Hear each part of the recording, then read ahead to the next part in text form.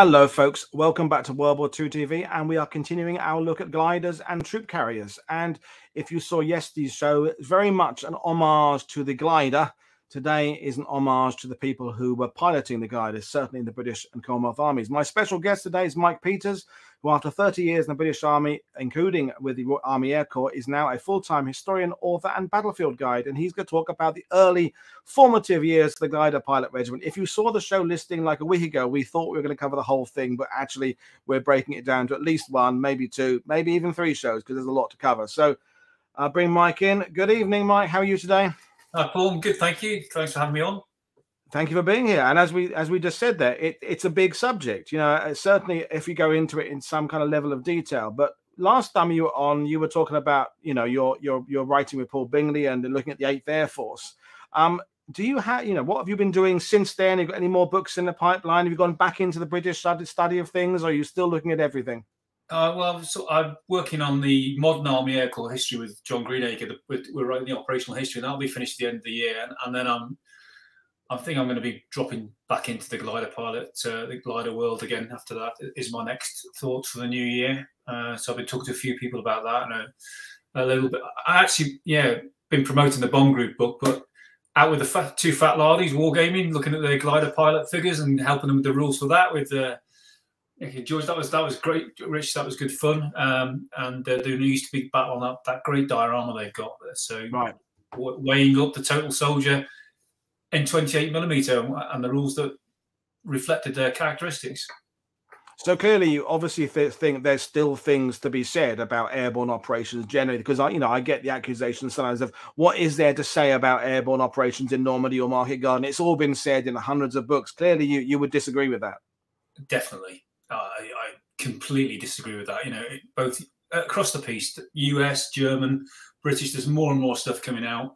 Uh, you know, I, I just read uh, that that reprint of Gavin's diary. That was fascinating, mm. seeing how his his mindset changes from being a brigade commander to, or a regimental commander to when he commands the division, and some yeah. of the how, some of the things he says about the 82nd, how poor they are in Sicily, and the fingers he points. You know, it's a great statement. Everyone thinks of him because the um, Ryan O'Neal portrayal in Bridge Too Far being anti-British, and he is to a point. He's an Irish American after all, but um, he, he, there's a line in there. He says he the first time he sees the Eighth Army soldiers, he says that they are the ultimate. That's what I want my troops to look like. They, they look like they're real soldiers, totally fit, well trained, disciplined. You know, just things like that. You just think, why isn't that out in the yeah. mainstream? Always yeah. new perspectives. Anyway, we're going to crack on with the glider pilot regiment. So you sent me a PowerPoint. Tell me when to move on the slides. And folks, you will have questions, I'm sure, but I think a lot of your questions will be addressed as we go through it. So if we're talking about the formation, you're thinking, I want to ask something about Sicily. We will be getting to Sicily later on, and we'll be getting, you know, to various things. So feel free to fire away, but there's a chance it will be being covered. But over to you, Mike. Let's talk about the glider pilot regiment. Okay, so I'm going to throw a grenade in right away because everyone knows I, I love the glider pilots. I knew knew so many of them for you know most of my adult life. I've been around them and uh, and edited their magazine, honorary member of their association, all those things. You know, I did learn a lot along the way from them, from their first-hand accounts and people like Arthur Shackleton and Mike Dauncey and all these different people about Chatterton, about Rock, about Sicily, and all that. So I'm sort of throwing some of that stuff in there, and I've called this the wooden Excalibur because obviously the gliders are wooden, but you know we sort of think of the the airborne assault and the glider as the silver bullet that you know the, the glory of Arnhem, Pegasus Bridge. Endlessly talk about Pegasus Bridge, and nobody talks about Ponte Grande we're going to talk about tonight, and and um, even Horsa Bridge on the same night. So more of that. So uh, yeah, let's get crack on. I've, I've got to touch, touch touch base on this. Obviously, most people associate the birth of airborne warfare with Eben-Emael, Operation Granite, and Camp Koch, and you know, ten gliders down, you know, taking the most modern fortress in Europe and all of that. And that that that does trigger will galvanise a, movement that's already going, where, where, most people are looking at airborne forces as a possibility. Uh, certainly, UK, because of inter-service rivalry, it's not a real contender until the until the Emael happens and the Germans do what they do with with Operation Granite. So let's move on. So that triggers um, what I call the genesis, and after interminable wrangling between the army and the air force, intervention by Churchill, you know, and, and then we finally get a formation of an army air corps, and the Army Air Corps, not the one I, I was in, but the one before, uh, is the glider pilot regiment, is the parachute regiment, uh, administers the SAS, and, and, ends up administering the AOP squadrons as well. So it's, it's a it's a big administrative corps rather than a fighting corps. Uh, and I do like to point this out to all my parachute regiment friends. Just check the dates on this order. Who comes first? So um, so we get that right. And so who had the maroon berry first? right. Who's got it now? So yeah, so it's an important thing, but it, it is the long screwdriver from direct from the War Office. Churchill, I want this, make it happen, make it so. And having seen some pretty disappointing demonstrations, he says, "Let's let's get let's move." And um, one of, one of the things I want to stress tonight is we look at airborne forces as part of this great narrative of World War II as a long running thing. It's such a short window from May 1940, the first big coup de main, to crossing the Rhine like March 1945. Uh, for gliders, that's it. Yeah, it's over. And, and, and we, we, we put the we put the microscope on the mistakes that happen along the way and say, oh, they should have done this and they should have done that with our 2020 hindsight. These guys are learning all of the time. Mm. Yeah, and and the idea of tonight is to look at those early ones and see what were the, were the big mistakes were made. And, and do you think the ideas lead the tech, or does tech lead the ideas, or is it kind of a combination of uh, of the two? I think it's a combination of the two because it's all new and it's what what can we do? I mean, who'd have thought the Hamilcar in 1939 yeah. as, a, as, a, as, an act of war? You know, who, would have thought that? Who'd have even thought of Eben-Emael with gliders, etc. So, um, it, you know, Eureka beacons and Rebecca and all these things that all, all, all that comes with gliders. So I think it's an exciting, it's exciting thing. But you've only got to look at the end of the war. The glider pilots are still kicking the heels in, in Palestine in 1947 as a theatre reserve for a strategic movement of troops. That's it. But they're, they're done. And mm. one thing before we move on to slide is always bear in mind that once Operation Mercury goes, is that Pyrrhic victory in, in Crete the Germans never entertain it again. And you see gliders being towed around to do resupplies and fighter squadrons with their own gliders with mechanics and spares. But they're coming the opposite way down the street, the, the glider development street, to the Allies who are going up the other way. And, and of course, the, the, governing factor is air superiority, air supremacy, because you yeah. can't operate the gliders without that. But um, so, yeah, so just keep that in your mind as we talk about this development phase, where the Germans are at the same time.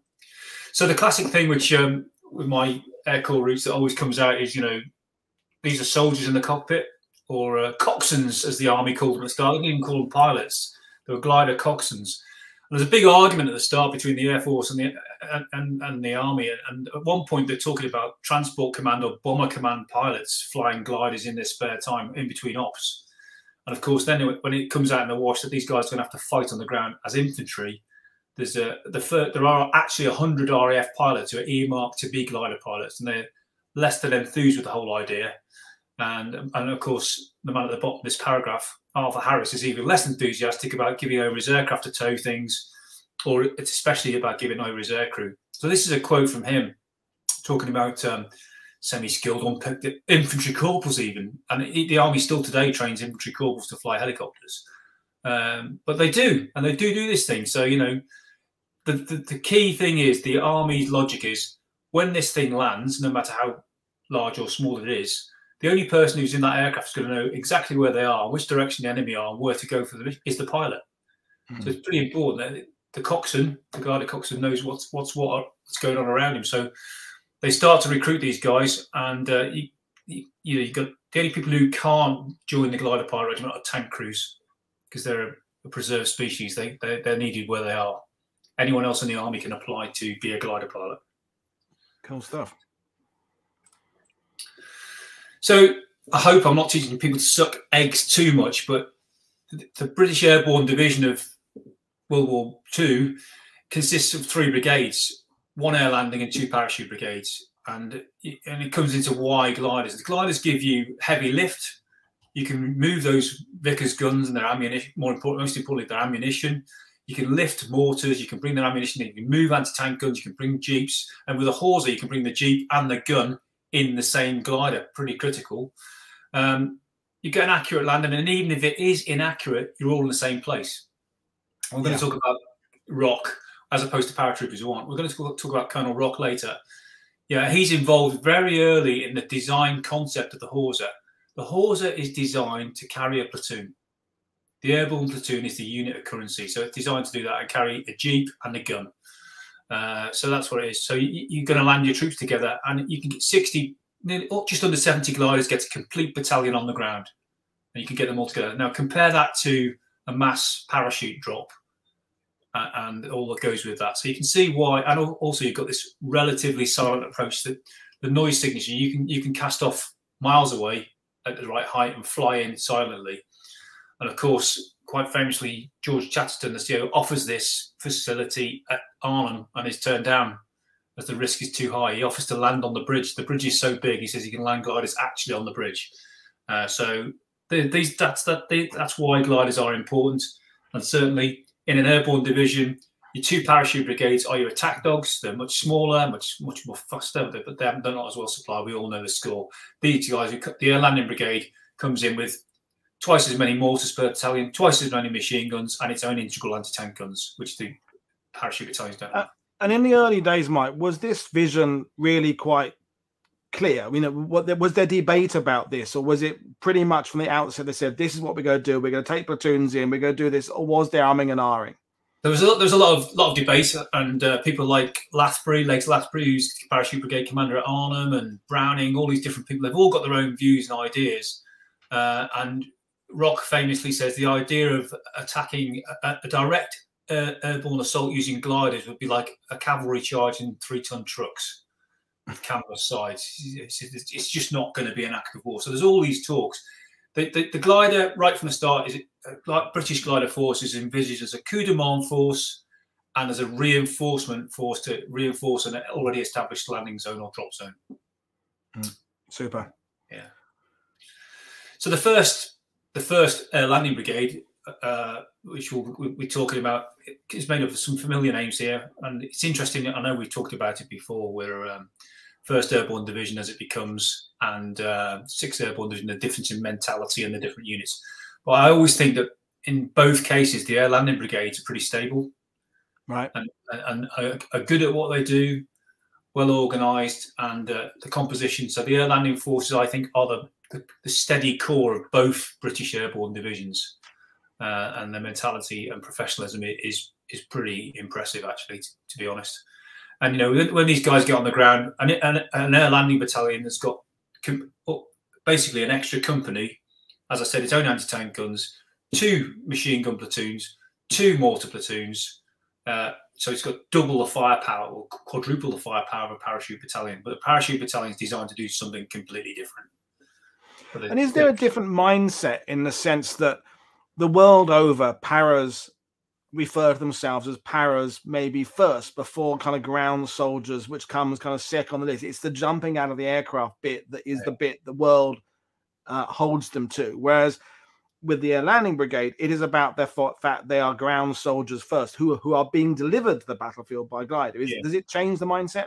You could argue that the same. It's true for both, couldn't you? And the same you you'll know from from the, the US mindset. It's the same. The US glider infantry, you know, yeah. and US paratroopers different different beast altogether. And even even the composition of these air landing battalions is it's a younger demographic. Uh, most of the parachute battalions are, you know, are, are second tour soldiers basically who've been somewhere else and really want to get in the fight and earn the extra money and have all the glory, etc. And a lot of the air landing battalions convert en masse, and they use that opportunity to get rid of the dead wood and make it up with young soldiers. So the average age of an air landing battalion is much younger. Mm. Okay. Different mentality. And, and and now we have the, the disadvantages because I you know came up with um with Kevin yes it comes up frequently when we're talking about special operations is that uh, as I said in the show with Kevin we like with gambling we remember our, our successes we forget our failures is that airborne jumps particularly parachute landings as many of them go badly as go well we look at World War II we look at it on an international uh, uh, uh, uh field yeah, and the same can be true of gliders. Certainly, we, we, we look at the blitzkrieg, and I've used this picture deliberately, and we think about how how awesome the Fallschirmjäger were. The Dutch army made mincemeat of German airborne forces in 1940.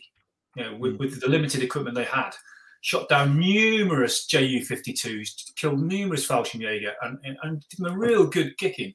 But we all think about Emael, and likewise my frustration about Pegasus Bridge being all that the glider pilots are remembered for you know, is is equally irritating. So and certainly parachute landings are fraught with risk, uh, as we all know. And there's some some of them are there. The noise signature of the air transport, the approach, the vulnerability of the air transport to flak, the paratroopers while they're in the air, the dispersal of a drop, the rally time that happens. You know, and you've only got to look at Merville Battery as an example, or Crete or whatever, where you know separation from containers, dispersion of the drop, the lack of mobility if you're on the ground and you've been dropped in the wrong place. Because you know a parachute, a British parachute battalion, the only vehicles it's got are coming by glider. You know, it's only the only the US airborne who drop their guns by parachute in pieces. We don't do that. We do it by glider. So it's um, it, it the two things have got to work together and be coordinated. Mm, good stuff. So um, we're, we're going to talk. We're here really to talk about the glider pilots themselves. The regiment. There's a nice bit of artwork there from the, that the recent French cartoon book that came out, which is they've let me use, and it's a Hotspur which is almost a, a clone of the German DFS 230, and is initially thought it would be a, a useful assault glider. It's too small. Yeah, it's 10 people again, same as a DFS, but it, it's quite a handy little training glider. And that's what we need at the start because we're going, how do you how do you grow a capability overnight? Well, you know, and you start start the war with just 20 gliders. Um, so the, the Hotspur is, is what it's about and under the wranglings over, and Churchill stuck his oar in and said, "There will be a glider pilot force. There will be." And the, uh, the Air Force has given up arguing about it. Said, "Okay, the Army can have Army pilots, and we will give you some tow aircraft." It, it, it really starts, and it's a real industry that, that happens next. If we move on to the next slide and start to move through there, it's you know, and and it's classic stuff at the start. When this is one of the points I wanted to make is they they view themselves as as uh, battalions it's a regiment with battalions of glider pilots, and although they're, they're squadrons, not companies, the mentality is that. And, you, and talking to the early glider pilots, people like Jock East, who I spoke to, and people said when they went from on Salisbury Plain, where their camp was, to to Netheravon to fly, they were driven by truck. They got off the trucks, they marched to their aircraft, they got in their aircraft, they flew, they came back, they marched away, and didn't really have a lot to do with the Royal Air Force crews that were towing them and flying and flying them around, just their instructors. So there was a very much a, a sort of a, a, separate thing about this. The, the, RAF didn't really want to know the, the glider pilots, and the glider pilots were being kept apart from them. So, um, and that's going to manifest itself as, as a, later on when things do start to go wrong. That's one of the things that will be the catalyst for that.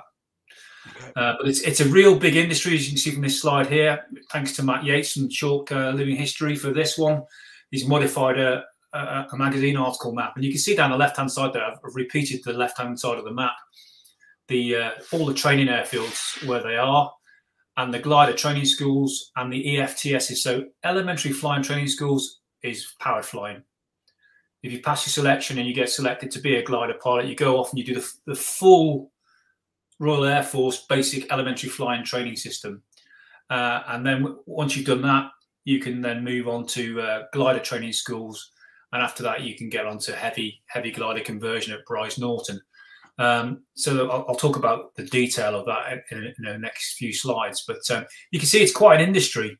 Uh, and of course, it's interesting maps put on the map here, the American airfields as well, which is you know from D-Day and the and Market Garden. They're over more towards the Lincolnshire way and that side, Cottesmore and places like that.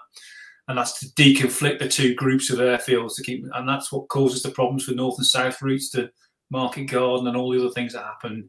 Uh, and it's quite interesting to read Gavin's diary again, him talking about these airfields and Cottesmore and places that he he goes to in 82nd in Leicester and, all, all these places that we just most people don't even know were there.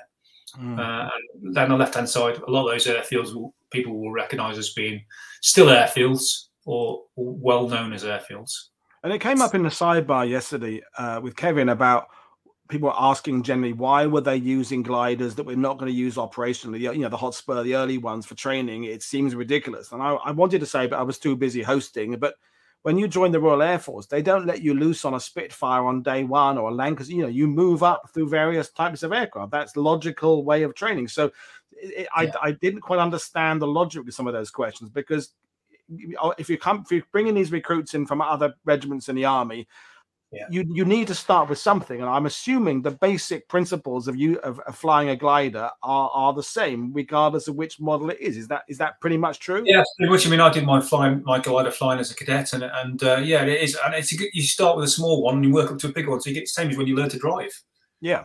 Just, and, and, and, interestingly, they start they get their wings on powered aircraft first, so they get, you get to understand the principles of flight, and you right. get to go around again.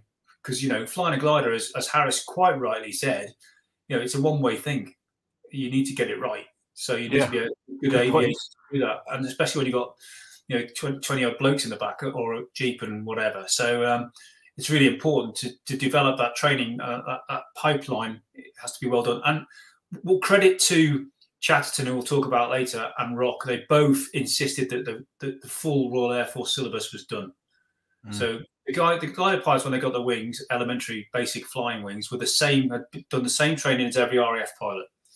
Mm. Um, so, and we'll bring up this slide now because uh, again, I, I, don't want to go down another rabbit hole, but yeah. I think we talked about this idea, and we've got Scott McGough on tomorrow talking about the American glider pilots. Yeah. Is this this this myth has not has has spread of glider pilots being badly trained, and the least you know, it's oh, spread from America to Britain to everywhere now. And there's yeah. this perception generally that glider pilots are hopeless. They've had two minutes yeah. flying.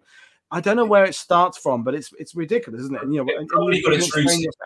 I think it's got its roots in the Norway and Sicily debacles that we're about to talk right. about, but also, you know, this thing about oh yeah, we crashed, you know. And I heard someone today on, I think it was Kevin or you said, yeah, you said I think uh, about um, being pushed off a cliff edge in a garden shed when he asked, yeah, you told that story, and and um, okay, in some of the pla- some places they, they did crash. Pegasus Bridge is an example where you know they deliberately ripped the wings off, deliberately smashed it. That was a special forces operation yeah. essentially. And uh, but the, the, whole thing about Mallard and Tonga was, as you, you know the ground well, great big open spaces. You can land whole battalions, and there's great photographs of Arnhem. 67 gliders in one field, a complete battalion delivered to the same field in minutes on the wheels, you know. And the whole point about the Horsa is that it's got good wheels and brakes, etc., and, it, and, and it, it, can do all that. So um, yeah.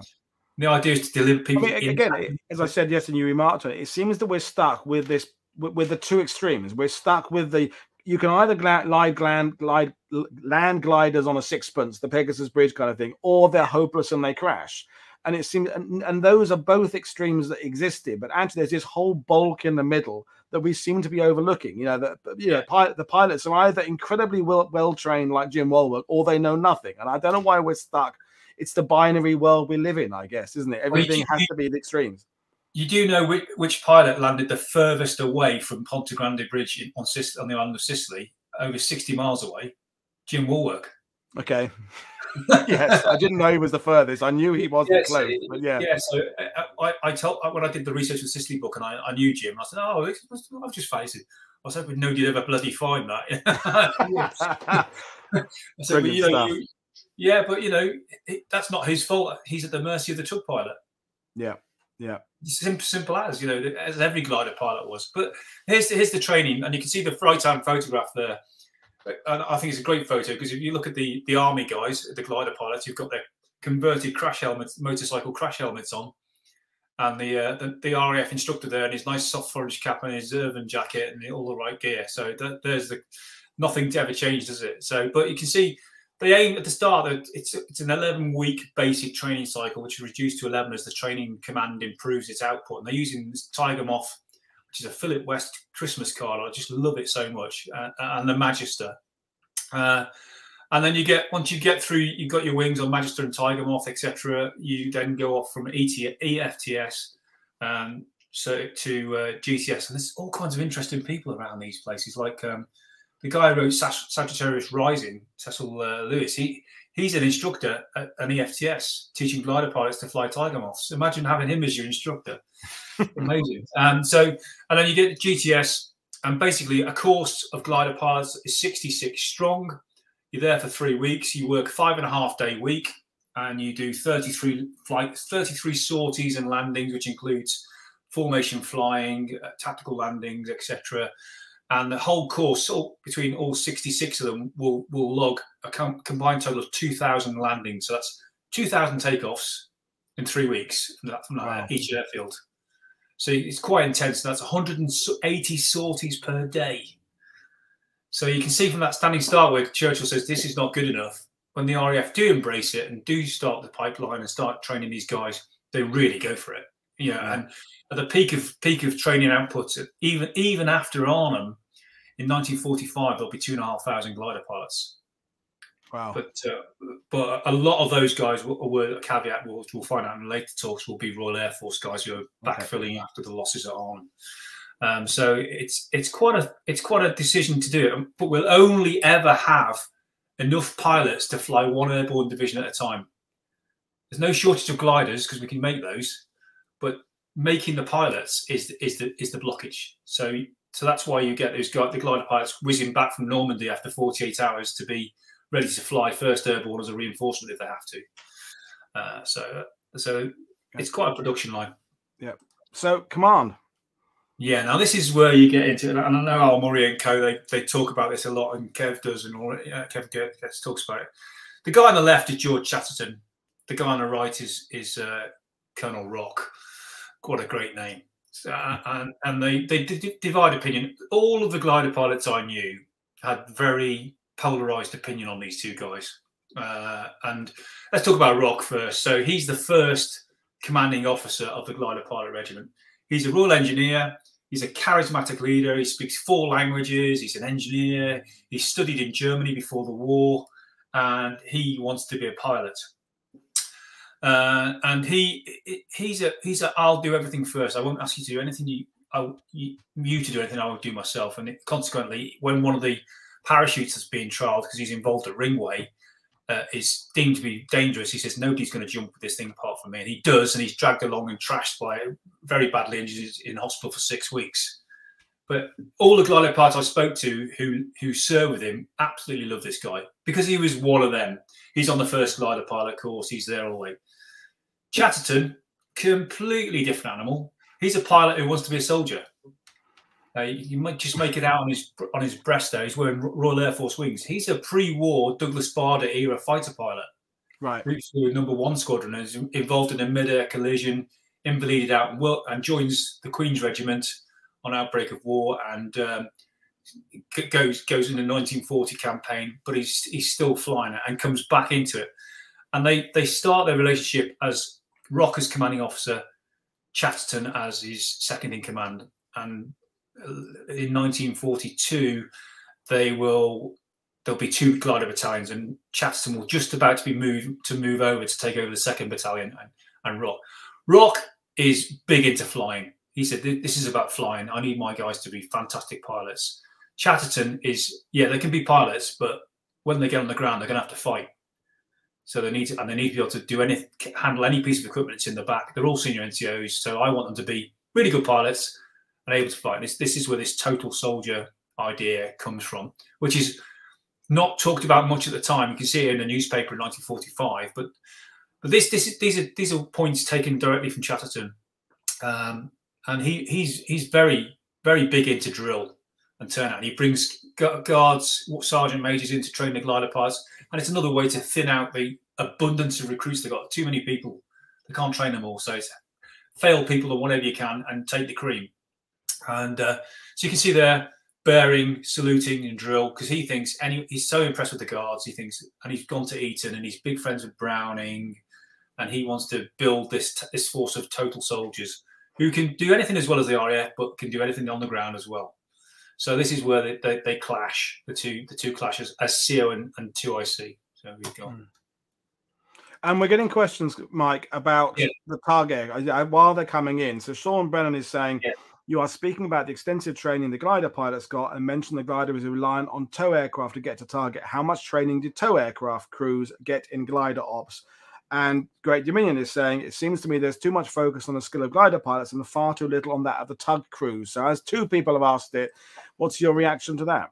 Well, I'm here to talk about glider pilot but, uh, right. but, but we will get into the tugs because when we when we move on to the actual operations, tug, the tug factor will go out. So I promise I will address those two those two points. Okay, cool. And it, it's a big factor right from the start. Is prizing these tug tug crews away because they're not just tug crews. They don't just tow gliders. They they're, they're, bomber crews at the start. they're uh, training command crews, they're, they're flying instructors, some of them flying bombing missions, some of them are supposed to do other resupplies. As the war goes on, the same Stirlings that are towing the gliders are doing parachute resupply. and um, probably dropping sea mines, as Jane told yeah, us about a few exactly. weeks ago. So yeah, yeah, pulling them away from the the hundred and one things they've got to do. Yeah. We'll see thirty eight group and forty six group later in the war, but at this stage we're using bombers from thirty eight wing, which we'll talk about in a minute. So yeah, fair point. So uh, uh, back to the development. So Rock yeah. dies, uh, trialing a, a, classic Rock. They're uh, they're trialing a night landing night landing device, device of three lights out on Salisbury Plain. The idea being a ground party of Pathfinders would put that on the ground for a coup de main party to fly in at night in gliders. One of the guys is his aircraft, aircraft's a bit light. Rock's watching the trousers. I'll come with you.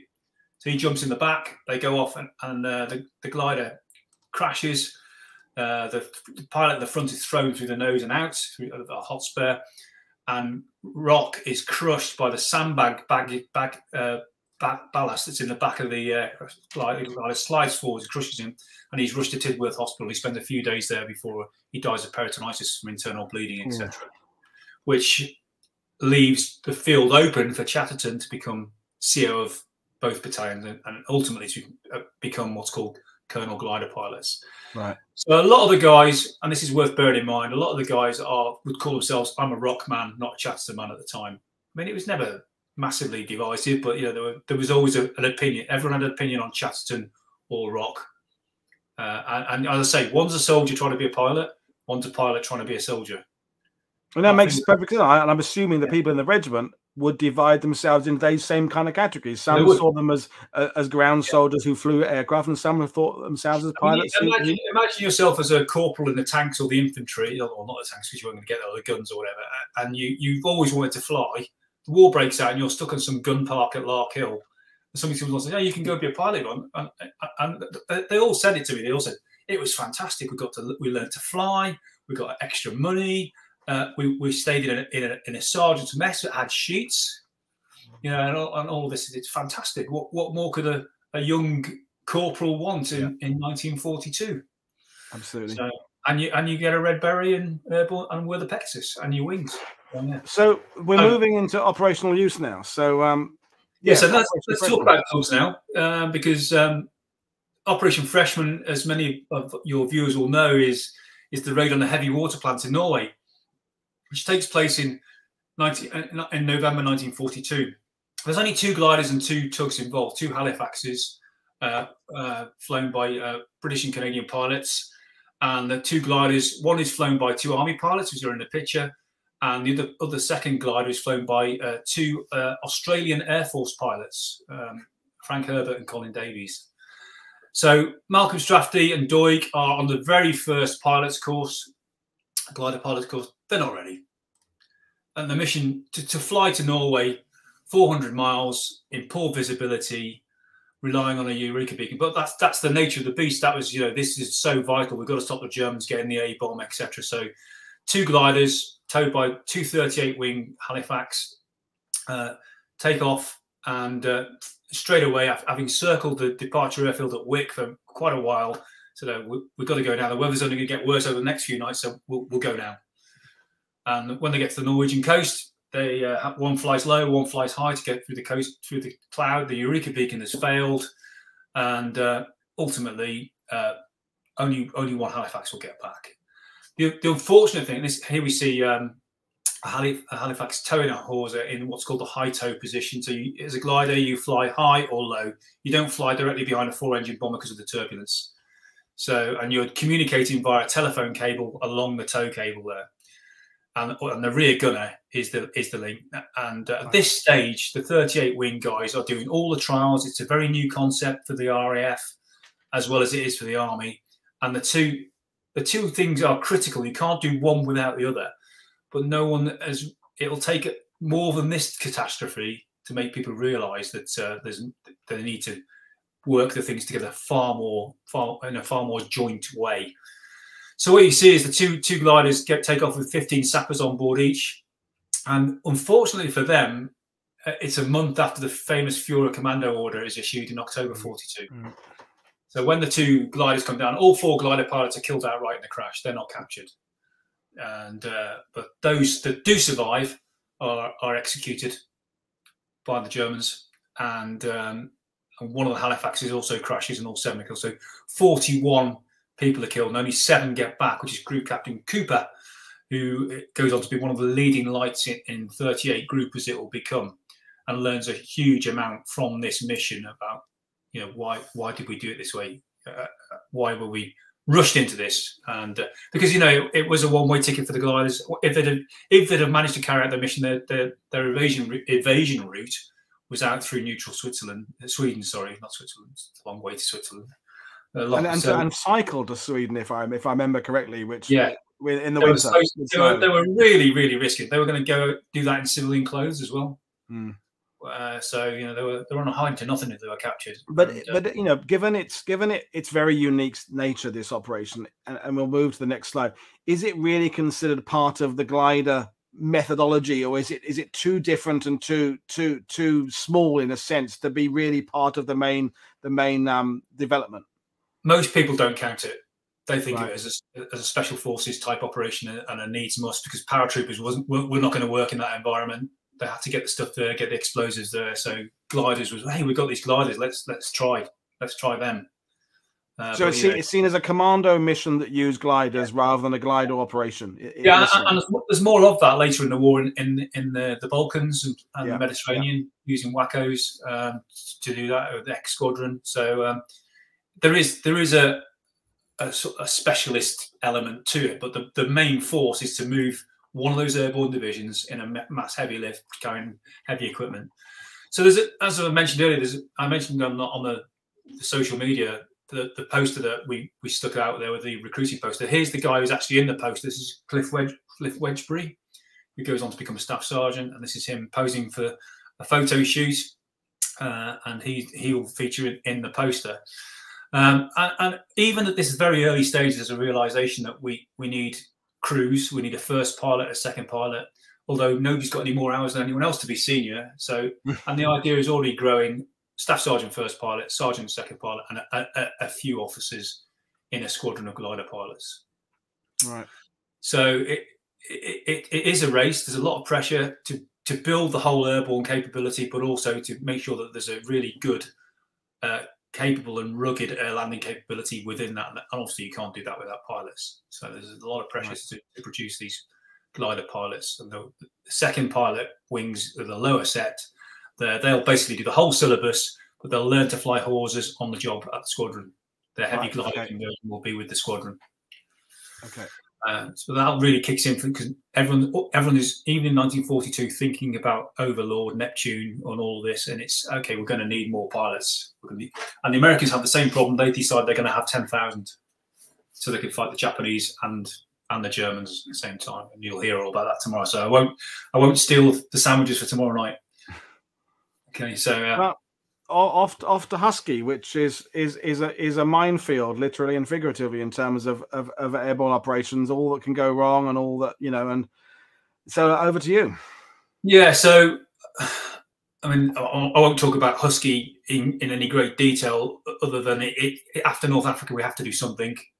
Uh, and um, this, by this stage, the US airborne are on the scene. 82nd Airborne has been created and uh, is uh, is in North Africa.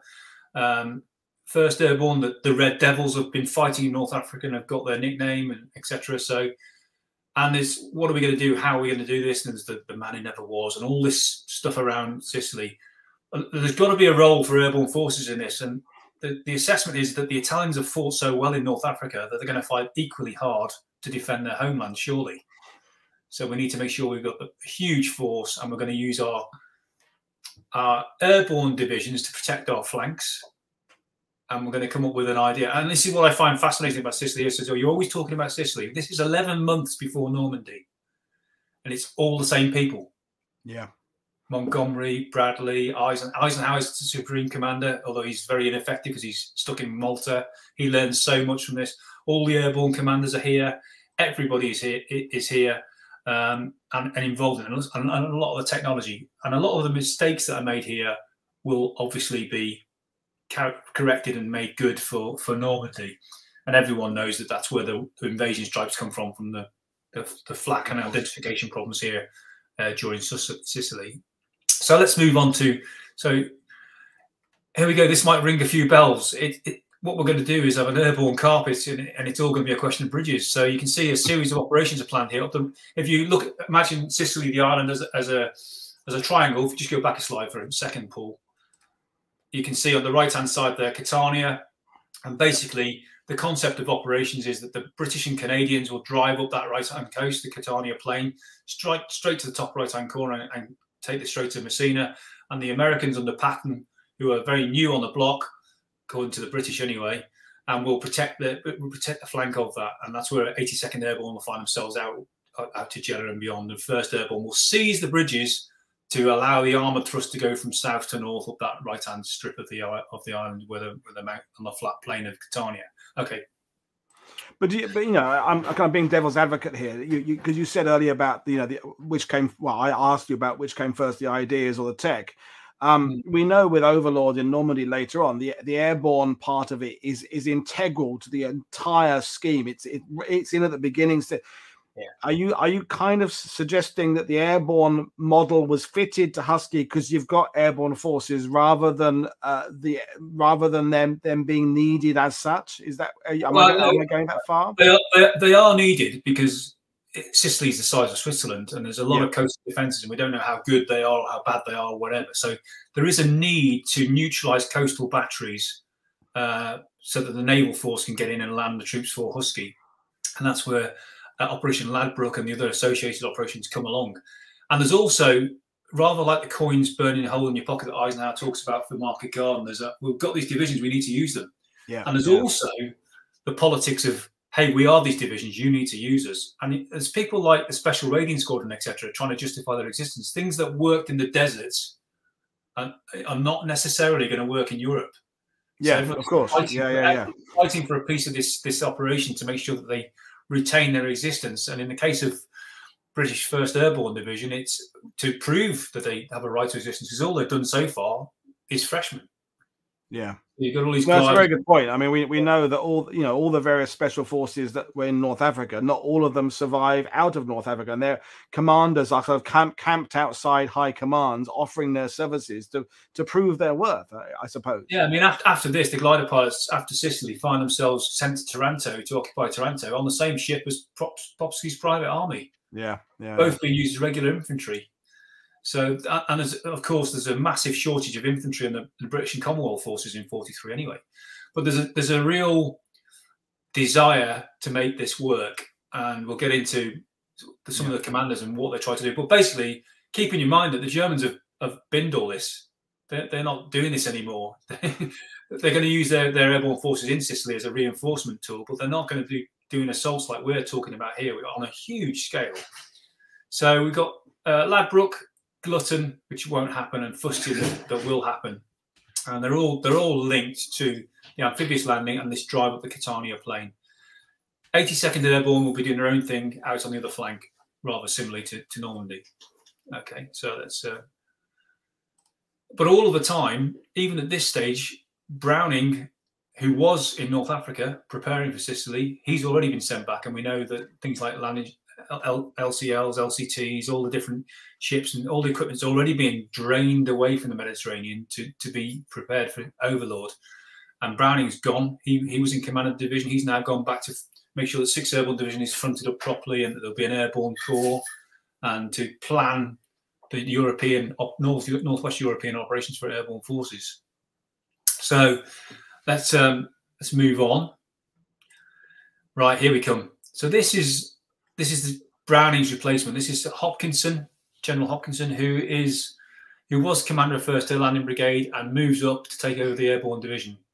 And, and you can see he's wearing one of the uh, Bakelite Army Air Corps cap badges. So a lot of the um, mm. infantry battalions, etc., wore the Army Air Corps cap badge. Uh, some of them, the parachute battalions, made their own. They were given a, a, a shaped copy and they carved their own because there was no no metal, no Bakelite. So Hopkinson is a complete glider fanatic, and he wants to be the first commander on the Allied side to use gliders on a large scale in an offensive role. Uh, he flies gliders himself. He's big buddies with one of the glider pilot regiment squadron commanders, he, and he flies with him later in the campaign. And actually, when when Husky go, when Ladbroke goes in, he flies in the front of a glider. And the controversy will come when he decides that rather than use paratroopers to take the coast and, and gliders further inland, he wants to use gliders first because he wants to be in the glider and he wants to use gliders before anybody else. So, and probably doing him a disservice because he's not here to def defend himself. And after the war, he, he died in, in, on mainland Italy, picked off by a sniper standing on a Jeep bonnet watching an attack go in. So he's not, he was never around to defend himself. So what I'm going to talk to you about now, we need to bear in mind that there are two sides to this story and we've only got, look, we've got lots of witness statements, but we haven't got Hopkins' own view on this, what happened. Fair enough.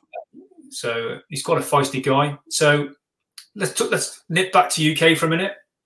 So the glider pilots been we've been churning out glider pilots at quite a rate. However, we haven't had as many gliders as we as we we need, and some of them haven't flown for three or four months. And by the time they get to North Africa, some of them won't have flown for six months. So they need a minimum of 30 hours a month to stay current, and they, they haven't had that. So they've done their basic training, they've done elementary flying training, they've got their wings, they've flown heavy gliders, and then they've not seen one again. So, and then they're going to be shipped out to uh, to North Africa to operate uh, as part of Operation Ladbroke. So just keep that again in your mind, right, as to the, their readiness state. Okay. And now we have the issue of the gliders themselves. Yeah, because we're we're talking about planning this in January 1943 uh, and the operation will go in July, possibly earlier, is the thought. And, and to move a battalion, you need 67, 68 gliders. And um, there isn't the space, there isn't, there aren't the ferry aircraft to get them to North Africa. So we can't fly them there en masse. And the shipping is already allocated to all the other stores and supplies. It's, it's large, it's, big, it's a bigger armada than Normandy, Sicily. Yeah, yeah. Uh, every ship taken up from trade, every merchant ship is already on its way there, already loaded or whatever. So we have a problem. How are we get, we've got these glider pilots, we've got an airborne division, we haven't got any gliders. So what to do? And that's a that's a glide, quite a well-known photograph now, which uh, we found when we did the Arnhem book, which basically shows the 35 major components of a Horsa glider. Notice there's a lot of women there were involved in building it, a lot of furniture makers and coffin makers and people like that are involved in in building the Horsa, which is a fantastic aircraft, which we heard about all last night. So I'm not going to talk enthuse any more about it, but um, it's a great aircraft. So the problem is how to get them to um, to North Africa. So we move on. Well, we perhaps we don't need to because it turns out that the uh, the Americans, God bless them, I've just happened to have 370 G4 Waco gliders stored in West stored in West Africa on, on their route to somewhere else and they can be delivered by sea or by air um, or by road or train by the US Army Air Force to Morocco, where the glider pilots are staging themselves. And I say Waco because everyone calls it the Waco, and um, it's not. It's it's the it's actually an abbreviation. It's not Waco, Texas. It's the Weaver Aircraft Corporation of Ohio who built it. The Brits call it the Hadrian because we have to rename everything. We've got a Horsa, Saxon. We've got uh, that we call this the Hadrian, and it's a great little aircraft. Um, if you are, if you're the Americans, because you're going to train ten thousand pilots, you want something that's really easy to fly, and you can use all your aluminum to to the Brits haven't gone near that, and you can use your. Oh, you've gone fully, fully, fully transatlantic today, Mike. I'm impressed. I am. I am. and you know, General uh, Hap Arnold says uh, originally he said, "I'll, I'll, build me a jeep that can fly." American mm. blue sky thinking, pardon the pun. He says, "I want a jeep that just flies." So they can't quite, even the Americans can't manage that, but they do come up with this Waco that can carry a Jeep or a gun. Critically, not the two together. Point for later. Um, so, um, but um, they start to deliver these aircraft in crates to the uh, staging airfields where the Brits are, and um, with the instruction manuals and a few mechanics who are black mechanics because the, the Negro soldiers of the day are segregated and they turn up and say, "We're here to show you how to build the gliders." So you're a glider pilot who've not flown for six months, you've never seen a Waco, and you are living in pretty tough conditions, exposed to all the elements and the heat and dust and sandstorms, etc., on a desert airfield, and you're going to build your own glider and then test flight. Not an approved mechanic, you're just going to build it yourself. But you do have the incentive that once you've built one, you can live in the crate. Ah, yeah, so, yeah. So there's you know these these boys had it quite tough. and those that were there talk about say, oh, were you, were you in North Africa? They used to say the old boys and say, no, you you haven't lived unless you lived on that desert. But they did it. They they got a production line set up. Each squadron built its own gliders, and Hopkinson enthused enthusiastically supported them. And then you you got to test flight, and some American glider pilots turn up, and their part in all of this is completely under underwritten, under sorry underplayed they come along, send their some gliding instructors in, and they train the trainers. They train some of the senior glider pilots to fly and instruct other glider pilots. And basically, it's a completely different aircraft to fly, as you heard last night from from Kevin. It, it's more of a hover. It, it comes down very very slowly. Um, I'd say it's inferior. It had its it had its use and it, it would have been ideal for the Far East, etc. It's much smaller. Uh, it couldn't carry as much uh, and critically, its maximum tow speed was 150 miles an hour, which was just just um, below, sorry, just above the stalling speed of an Albemarle. So if a RAF Albemarle had to tow a Waco, the Waco would be going full full pelt, and the Albemarle was almost almost stalling. So mm. there were all mm. kinds of problems with headwinds, etc. So think about that as a as a problem. Yeah, yeah. So um, especially when you're going to do what they're about to do. So that's the the Waco, uh, which came down very gently. Was a, a Horsa, as, as, many viewers will know, would dive down and had barn door size flaps. It could land in a very short space of time. This thing was designed to be easy to fly because they, they didn't have, they weren't building training total soldiers for their pilots. They were training Air Force pilots to fly a glider and then be carried home to, to go and get another glider. Um, so, so, so it's not it's not just the, the change of glider; it's a change of doctrine. The change of uh, of the whole concept is different. Its, its, handling characteristics are totally different. For those who've glided, the the Waco has spoilers, whereas the glider's got sorry the, the Horsa has got huge, great big barn door flaps which drop down and break the airflow and allow you to dive and stop very quickly. The Waco has flaps, but it, it has air brakes on top. So basically, you come down very gently, very steadily, which is great if you're a student pilot that's what the kind of glider I learned to fly in. But it's not so good if it's hot landing zone you're being fired at and you want to get down really quick. Right. Okay. So, yeah. But easy to fly. And the, you can see them, they're about to put a D7 bulldozer in, the, in it there. But you hooked the vehicle to a cable. When it landed, the pilots jumped out, lifted, and the vehicle drove out and the nose lifted automatically like Thunderbirds, and you just drove out on the cable and drove away. So Hap Arnold nearly got his Jeep that flew. So, but that's the Waco. Right. And they're, they're building them as we go. There's the Albemarle. And for our tug questions, here we are. We're talking about 38 wing RAF, who were the nucleus of what would become 38 group with a multitude of towing aircraft. And this was a problem because they all had different power outputs and different handling characteristics. So if you're going to, we could not fly in tight formation with our gliders like the Americans did because they had the DC-3 C-47, all the same type. They could fly in streams, Vic, whatever they wanted to do, because everyone was flying at the same speed, same capabilities. We had Albemarles, Stirlings, Halifaxes, you know, all these different aircraft, all the different stages of maintenance and capability. So we tended to fly in streams, right. same as our bomber command thing. So that direct the tech directly affects the doctrine there. Okay. The Albemarle, pretty ropey bomber, but quite a handy little aircraft tug, which will see us right through to the end of the war. Okay, Operation Turkey Buzzard. Right, so Turkey Buzzard, its official name is Operation Beggar. And this is the operation that will um, move those gliders, 40 gliders is what they're after, 40 Horsa gliders from UK, from the airfield at Portreath in Cornwall, for those that know it, the furthest south they could possibly get as a, a, land, a departure point, and get them to Morocco. Um, so, and this is 38 38 wing really doing their stuff. These tug pilots, so they, they do a trial. They they get given the problem, get these Horsa gliders to North Africa. They go to 295 Squadron, uh, Netheravon. They think, how can we do this? So they they strip out the mid upper turret, they strip out the nose turret, they open the bomb bay, stick a fuel tank in the bomb bay, put fuel wherever they could. They only keep the, the rear turret for defence and to communicate with the glider. And they they go and fly around UK and time themselves and record how they can do to make sure that they can get over 3,000 miles or whatever they need to do to get to Morocco. So if we move on to the next slide. So here we go. The requirement is to move 40 gliders, and we want the Horsas because all of the operations we're going to do, uh, Fustian, and Glutton need six pounder anti tank guns for the airborne forces. So there's uh, no Piat yet. Uh, so they need they need those.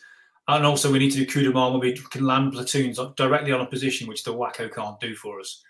So ultimately, they managed to scrabble together 36 gliders, gliders with crews and 10 Halifax tugs which have been modified and done the trials.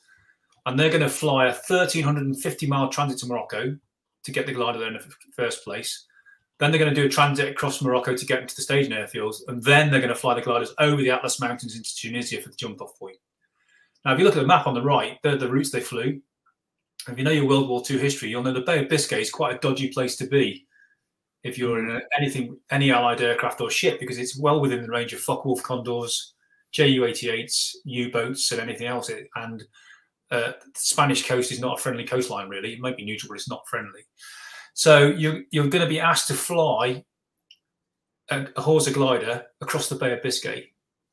The good news is we're going to give you a Bren gun for defence, and uh, because the Horsa has got firing ports on it, in the in a mid upper position in the middle of the wings and in the tail, and and the doors are designed to be open so you can fire a Bren gun out the side. So that, that's fine against the Ju-88. Not. We'll give you an extra pilot, three pilots per Horsa because it's so manually tiring to fly, physically tiring to fly a, a no assisted controls to fly all that way. But don't worry, we'll give you an RAF fighter escort of Beaufighters from Port Portreath as far as we can.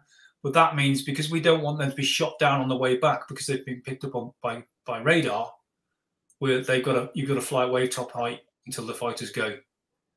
So you're going to fly in a Horsa glider behind a Halifax in broad daylight at wave top height with a, with the threat of Ju-88s and Focke-Wulfs to, to think to think about.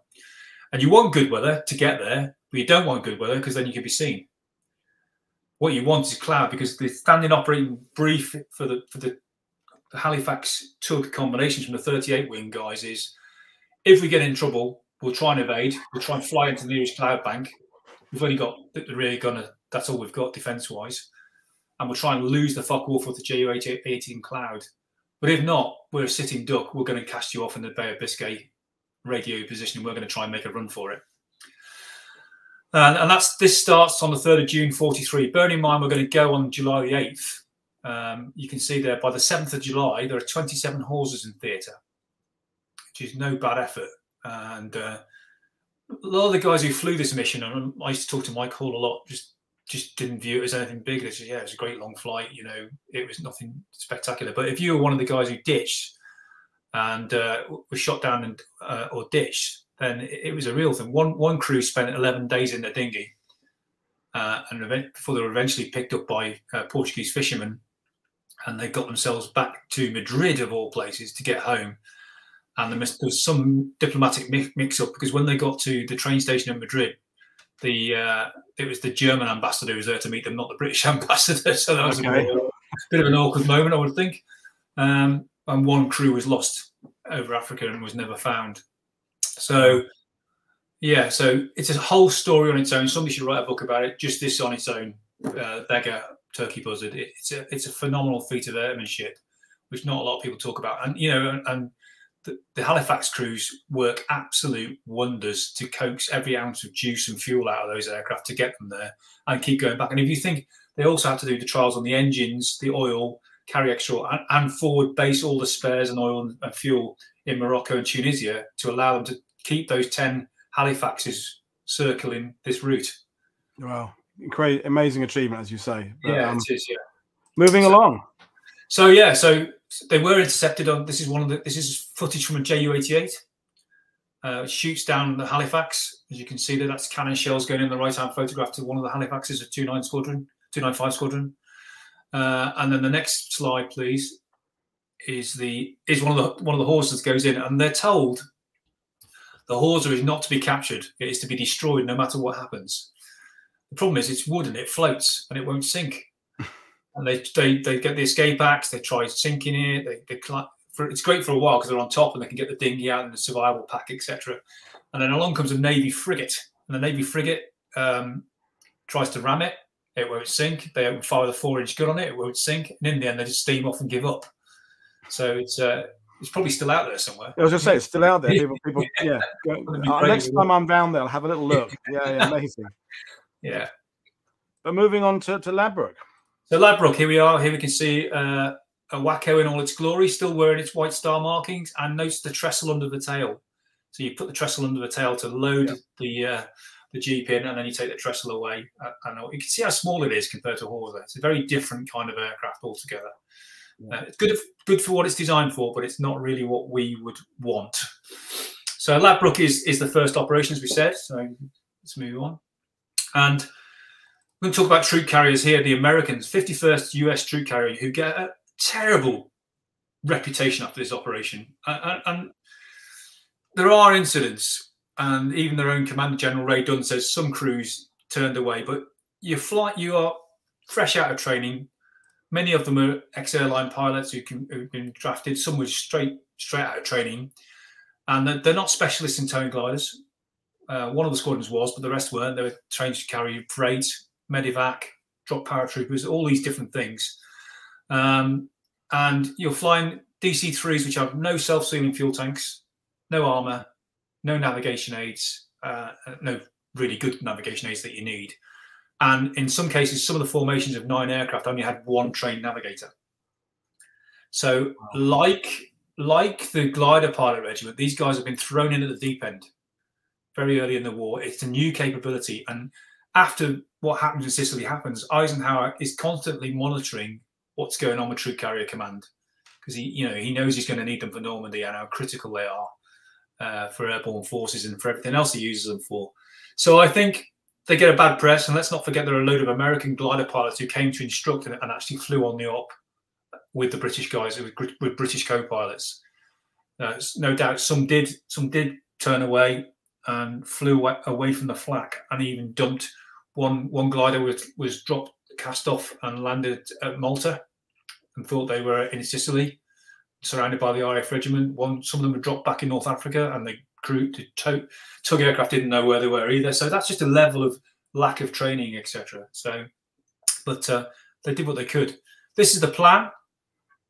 So you can see that the headings there. They're going to take, having crossed their gliders over the um, Atlas Mountains, and there's a few incidents there where some of the glider pilots flew their own, flew their test flight before they went over the Atlas Mountains, cast off and landed back on in Morocco, and said, I'm not happy with my glider. There's something wrong with the handling. And uh, uh, Hopkinson gets in the glider, flies it, says nothing wrong with it, sends them back to UK, sacks them basically.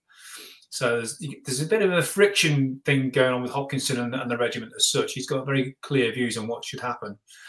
Uh, so you can see the plan is basically fly to Malta, low level, sea level, wave top height, at night.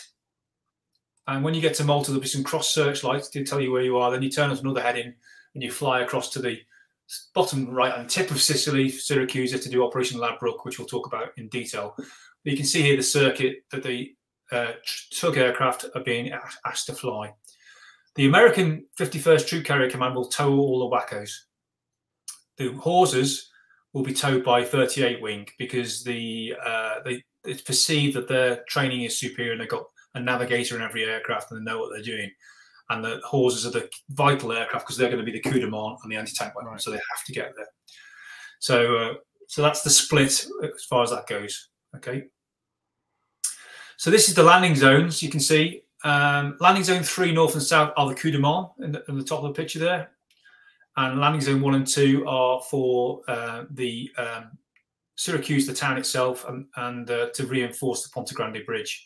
Whole idea being that um, southwest of here and, and southeast of here, amphibious forces will come ashore and whiz up the road that's been secured with the bridges completely, the big bridge, Ponte Grande, secured by the South Staffords and uh, and the, the, telephone exchange, the harbour.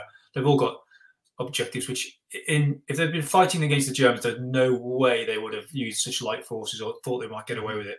You can see the plan there broken down. South uh, South Staffs capture Ponte Grande about midnight. Land the main for, landing force follows on, deal with the coastal battery en route, and then secure the whole of the borders or reinforcers. So two battalions, not three. And was there much cooperation and consulta- consultation about the choice of landing zones and flight paths? I mean, was everybody involved in it, or, or did yeah, there is, a, and Chatterton is offered the chance to fly over it in a Beaufighter, okay. and uh, and um, doesn't like what he sees. And you can see marked on the map there, and I've, I've walked this ground many times. It's crisscrossed with low stone walls because they're orchards, and um, it's absolutely the worst possible place on earth you could land a glider. Right. Uh, probably, and this is the controversy that comes in with hindsight, is actually maybe paratroopers might have been better here, and Fustian to the north might have been more suitable for gliders. okay. Yeah, yeah, makes sense. But, but yeah, Hopkinson, Hopkinson wants the landing brigade here, and he wants his glider landing to be the first bit. Mm. So there's a bit of friction, which we'll come on to now. Yeah, indeed. So Chatterton, here he is, George. Um, and this this is a quote from him. Uh, so you kind of, kind of get an impression here of the contrast between him and Rock. Rock's charismatic. I'll do everything. You know, I've done the same same course, same course as you. Whereas Chatterton is a fighter pilot. He's he's a guards fan. He's big buddies with Boy Browning. They went to Eton together, and Chatterton taught Browning to fly. So when you see Dirk Bogarde wearing his flying wings, he, he actually did have those wings, uh, and it was Chatterton that chose him. Um, so okay, so uh, he is a no nonsense leader and wants to forge this rep- this regiment into a weapon, as we can see. But he has a problem because he doesn't like what he sees when he sees the plan. As a pilot, he understands landing a glider because he flies gliders in this environment is not is just not going to be a pleasant experience. He's going to lose a lot of guys, and maybe the mission might fail. And he tackles Hopkinson about this. If we could move on a, a bit. He, and he, he, raises his concerns, and this is a page on the right here from the op order itself. Um, and uh, there's been photo recce as well, and there are some models made, so people know. So, so he raises these experiences. I'll just run them through them very briefly. When the guys have built their gliders in Morocco and flown them, they've accrued on average a total of four hours flying on that type, having not flown for six months in some cases. Only one hour of that is night flying and they're going to be asked to fly across the Mediterranean at wave top height and find a, a landing zone at night. He's got a, a, he hasn't got enough pilots. Luckily, the U.S. Army Air Force guys will say step up and say we'll fly, we'll do it. Good, pretty gutsy for them. He's concerned about troop carrier command and their inexperience. And to be to be fair, 38 wing, you know, they've not done this before either. There are issues, as I mentioned earlier, with the Waco and the Albemarle. Yeah. Although, so, but most of the Wacos are being towed by C47s. Um, he's concerned about the accuracy of the Met forecast, and the Met forecast itself is for high winds, gusting winds, and, and uh, the area is renowned for that. Strong headwinds, which will affect the release height. And this is yeah. one of the things that goes wrong on the night, is there's no adjustment or there's no communication out to the airfields in Tunisia to change the height. And there's a lot of friction between the American Troop Carrier Command General, General Ray Dunn, who said we should have raised the release height by 2,000 feet because this, the American crews have been told because of the, the vulnerability of their aircraft, they can't fly over land.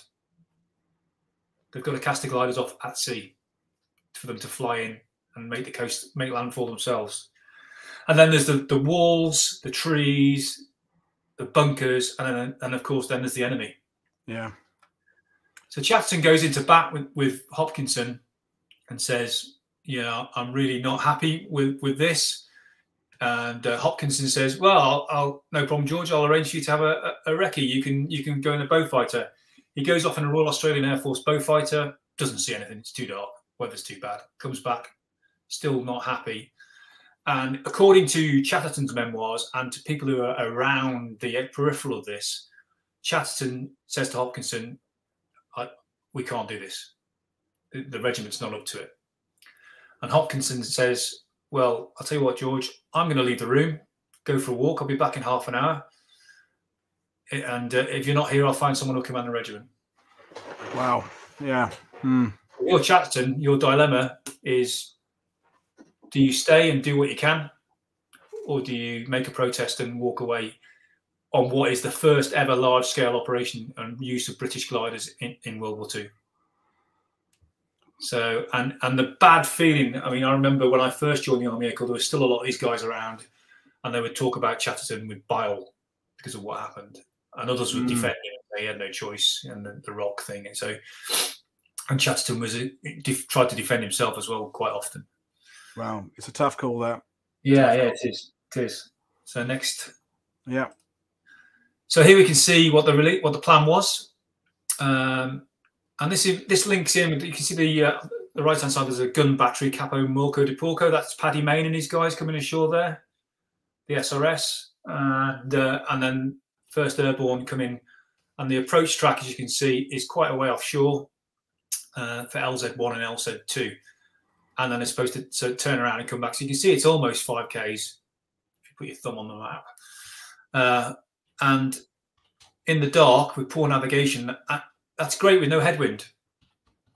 But the headwind means that a lot of the gliders are going to come down in the in the sea if they're not let off properly. And I've already mentioned some of these things. There's no combat experience. A lot of the crews, the C-47, DC-3 crews, are, are, spooked by the flak. And Ray Dunn says that in his own post-operational report. They've never seen flak before. They've never been fired at before. Some of it's nowhere near them, but they think it is. They don't understand it. Uh, no cockpit armor, no, no, and there's a shortage of ground crew for battle damage repair. So they, they're told we can't risk damage to the aircraft because we've got no one to repair them because we're, we're operating at reach away from our logistics in the North African desert. So there's a lot of dilemmas here. There's a lot of things. Mm. So this is why I think this is only 11 months before Normandy, guys. You know, and uh, this is the birth of airborne forces for the Allies because we all know 82nd Airborne are having just a torrid a time on the other flank being shot out yeah. the sky by their own flak. Um, Absolutely. Yeah. So. So training. So what have they done? They do uh, a few exercises before they go, uh, some limited flying, uh, but mainly the, the, mission rehearsals are done with trucks. The glider pilots in the trucks, practicing one staying in the cab, one getting the troops out the back, one pointing and telling them which way to go. Um, and they, you can see exercise Eve 2 um, is at night fly. Only 12 Wacos fly on that one. Um, and then there's the the flight over the whack over the Atlas Mountains. So if you, you're trying to learn how to fly a new aircraft you've never flown before, let's just go over the Atlas Mountains, shall we? Where some aircraft drop as far as 2,000 feet in one drop because of the wind currents and turbulence.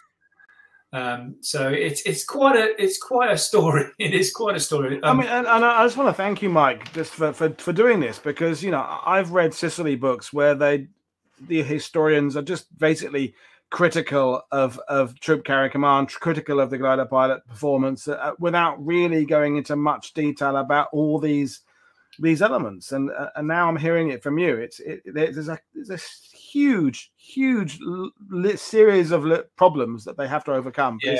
But it's, even to, even to to begin to be a success, they've got to overcome lots of potential pitfalls. Yeah, and when I did the Sicily book, well, when I did the Ireland book, I wanted to do the Sicily book first, and nobody would publish it. No one's interested in Sicily, even though it's the 80th anniversary this year now, and hopefully it'll be more interesting because it, it, it's um it needs it needs to be more more exposed to what's gone on here. Because when you get to the island, I've, I've, done a lot of tours of Sicily. There's so much to see and so much to learn, and this is just a small part of it. Yeah. But it shape it shapes now. You know Normandy intimately. It shapes airborne tactics when they come to the Normandy well, absolutely. I mean, we go down a rabbit hole of you know how many times do people say Dieppe is the learning curve for not for, for Normandy, and it's irrelevant in terms of the learning curve. It's all about Husky. It's all about well, and, and North Africa, I suppose. You're right because the amphibious lessons learned at Husky are, huge. Yeah, huge. Uh, so, uh, so let's move on. Yeah. So the the big kingpin that now this is this is what people talk about Pegasus Bridge. This is something on another league this is Ponte Grande Bridge, which is a similar concept. Six gliders to take off and, and, and seize the Ponte Grande Bridge in a coup de main, put their nose through the barbed wire, land next to the bridge. And this is this is from War Illustrated. The, the, the glider landed nowhere near the bridge, but uh, it's, within walking distance. We'll talk about that in a minute. But it's key. It's a key mission. So let's move move to the next slide. So here's here's it. Here we got the, the, the we've got eight Horsa gliders towed by seven Halifax and one Albemarle. Remember, there were only 10 Halifax, so there's servicing and everything here. So one Albemarle, which can just about lug a fully laden Horsa into the air, just with, and there's headwinds and all those issues. So there's carrying four platoons of A Company, four platoons of C Company, and the mission commander is the, is the company commander from the South Staffs, and the glider pilot commander is is uh, one of the flight commanders. And they they've had they've had some practice. They've got there's, there's plenty of orders and, and rehearsals of models, etc. But the crews are flying, unlike Pegasus Bridge, where they have 30 plus rehearsal flights. No, there are no rehearsal flights, none of that. Um, so let's move on. So this is what happens to those gliders who are all being towed by 38 wing, as we've just heard. Um, and there's various disasters along the way. And you can see um, 128 ditches in the sea uh, because of tow rope snaps. Uh, 129, 10 miles from the landing zones, not going to affect the battle. 130 ditched, 131 ditched because of headwinds. Uh, 17 platoon, we'll talk about in a minute, it's destroyed. And landing zone three, one makes it, which is uh, 15 platoon, and then the other two don't make it either. So, and that that's with the better better tug crews. Yeah. So when we talk, when you fast forward to to Tonga and Mallard and, and Pegasus Bridge, you can see why there's the, the, way they load the gliders and the way they go for each of the two Pegasus. And I've got to mention Horsa Bridge as well. You know, just so it's, course, it's important. Yeah. Uh, and the guys who fly this mission uh, uh, influence that and how it's done. Yeah. Definitely. So glider one three three, the glider that makes it. So this is this is an epic epic story, and um, more people need to know about this. Uh, and um, this is Staff Sergeant Dennis Galpin and Sergeant Nigel Brown are in the front. And 23 year old Lieutenant Len Withers is in the back with in command of 15 platoon. Luckily for them, their tug pilot is Flight Lieutenant Tommy Grant, who's a Boscombe Down pilot who's been involved in all those trials. He's done he's done the uh, flights, etc. But it's his first ever night tow. When he gets into his these, these Halifaxes have been hammered up and down to North Africa and back across the desert over the Atlas Mountains. He's got a faulty compass. His autopilot is US He's got he's got problems with three of his engines out of the four, and he, he decides that he's got no choice. He's got to abort the mission and re, and return to base. And he goes back to airfield E. And then when he gets, he's in the circuit at the, at the return airfield. Suddenly, all the engines come online and start working. So he gets on the on the field telephone back to the glider and says to Galpin and, and to Withers, "Okay, we we can go. If you still want to go, we can turn now and go." And they elect to go, which means they're going to arrive out of the stream on their own unaware of what's happened to any of the other gliders. So um, they do they do exactly that. And as they approach the landing zone uh, off the coast of Sicily, they're caught in searchlights and uh, are under fire. So um, uh, sorry, um, Grant's aircraft is hit. One of the engines is on fire at one point, and uh, he says, "We're going to have to. What do you want to do?"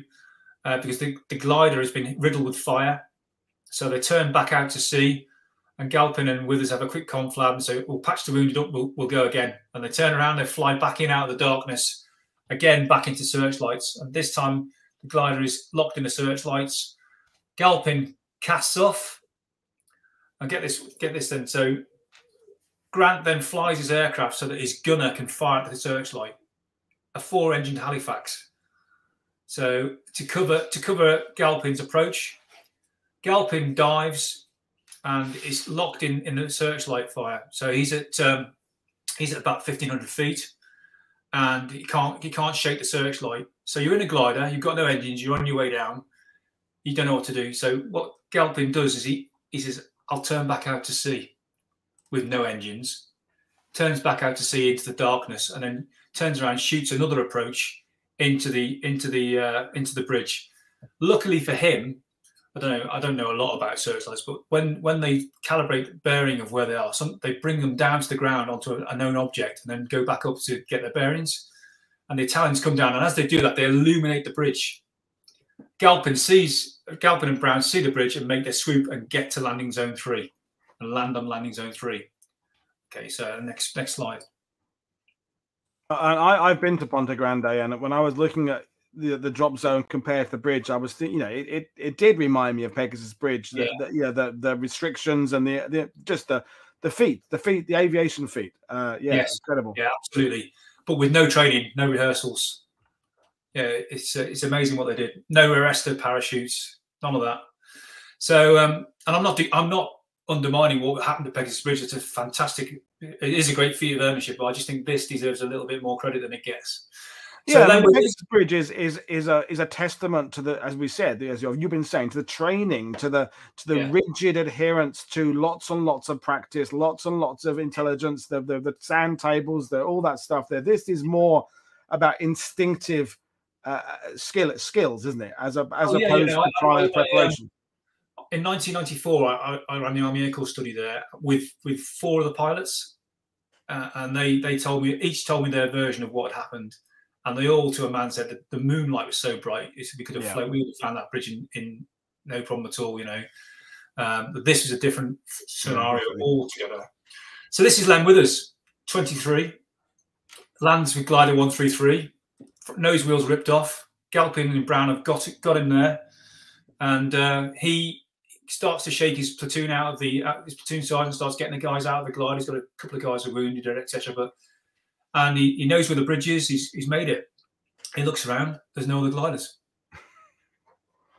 So then, out of, out of the darkness, in comes the other glider. The company com- and he sees from the chalk mark on the side, wow, it's the company commander's glider. Thank God for that. So that's got the senior glider pilot on board and the company commander. At that point, Tracer rips into that glider and hits, we think, the Bangalore torpedoes and explodes all under the seat the sappers are carrying, and that explodes in midair, killing everybody. So you see, the only other glider that's made it is, is destroyed on the landing zone. So you're 23 years old, and you, you and your platoon sergeant look at each other. What should we do? So it's a mission for eight gliders, a company assault, and you've got one platoon. He says we'll attack. So he takes takes about four or five of his guys, and it rather exactly like um, like Pegasus Bridge. They've landed on one side of the bridge, and they need to get both ends at once. So he says, "We'll swim the river. What's the canal?" And when, when you hear us attack the other end, you attack that the, the other end, and they do exactly that. And they they rout a garrison of about eighty Italians, and capture the bunkers, the machine the machine gun bunkers around it, take it, take it, and capture the bridge. In the middle of what's by this stage a disastrous night for First Airborne Yeah, yeah. a disastrous night, and uh, he will spend the next 24 hours clinging onto that bridge and being almost driven back into the sea. And most of them will be taken prisoner, only to be rescued at the last minute by the land component as they come up from the beach. So uh, there's no Piper Bill Millin, but there's it's a good story. it is an amazing story, and, and thanks for sharing it with us. Yeah, definitely. Yeah. So, um, so moving on to the analysis of the whole of the whole operation. Yeah, you can see there. So it, the mission starts with 144 gliders, six locations. Uh, 75 Hadrians go in the water, three Horsas go in the water. Uh, 61, sorry, Wacos Hadrians are scattered over 25 miles around the landing zone. Glider 133, which is heard about, makes it. Two Horsas are hit by flak and explode. And the, the the number of glider pilots who do find the landing zones have broken legs and shattered elbow, uh, shattered ankles is is staggering. And all of the accounts and all the interviews I did at the time talked talked about the, noise they could hear from these guys just lying in their trapped in their cockpits, or what was left of their cockpits, being having been having their legs smashed to pieces. Um, three out of the six six pounders that needed to be to get be brought on land make it, and four out of nine jeeps. Uh, and the problem then manifests itself that the Waco cannot carry the gun and the Jeep together. So Right, those yeah. units that are doing that, the, the chances of those two Wacos landing in the same landing zone, in the same grid square, in the same mile five mile box are zero. So you've got that mobility issue of, of doing that. But they they managed to get it. It's it's a it's a disastrous night for First Airborne, but they they managed to cling on and um, capture the Ponte Grande and capture Syracuse. Um, so yeah. So you can see the breakdown here: 252 drowned. Mm. Uh, it's a it's an amazing amount when you think that's not combat. That's just before they before Mm. even getting there. So you can see the paranoia that comes in for, for Normandy after this. Well, I Um, mean, because we, we we we talk about Leigh-Mallory and his, you know, his ri- ridic- well, not ridiculously, but his very negative. Seventy percent of all airborne force will be killed before hitting the ground. Look this, prediction look this. But looking yeah, yeah. at that, that you know, it, it's it's not. He didn't pluck that out of his ass. You know, he, he's he. You know, okay, he's not directly involved in in this, but you know, he's got the data. He's he's Air Marshal Leigh-Mallory, so yeah, you can absolutely understand the, the the the hesitancy prior to Overlord about the use of, of airborne forces en masse. Yeah, and, and, and I'm not. I'm, let's not distract too much from the, the, actual fighting. There's some really vicious fighting around Montegrande, yeah. And this composite force of glider pilots, senior officers, engineers, medics, American pilots. They they cling on to that bridge to the last moment. And then they're pushed off it, taken prisoner, and then the Allied forces arrive in time to rescue them. So uh, and the bridge is captured again. Um, so it's quite a it's quite an escapade. It really is a story. But for First Air Landing Brigade, and, and think about those pilots that do survive and those people that do swim, they're picked up by ships and taken to Malta, mm. Egypt. So the brigade is scattered around the Mediterranean immediately after the operation. So and it's supposed to be ready for subsequent operations. It, it isn't. And it won't be. So Leslie is asking, what was Churchill's reaction to all this? Uh, he he viewed it as a, he, he had Browning in his ear, saying, you know, what a brave thing. So it's almost like the Montgomery ninety percent successful. Mm know, we kept, we got the bridge. So his his view was, you know, it's it's our first use of airborne forces. They, they achieved their mission, didn't they?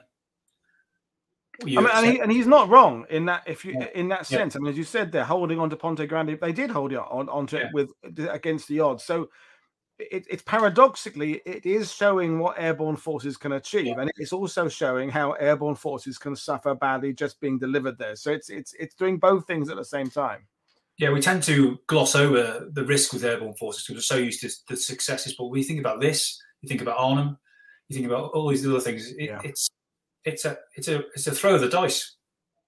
Yeah, no, absolutely. Yeah. But moving okay. on because we're we're we're we're um Fustian. Yeah, so Fustian, uh, not not talked about much. Um, it's a parachute drop. It's first parachute brigade, so it's Frost and his boys. Uh, it's three, and, and there's, a, there's there's a lot of troop carrier controversy around this.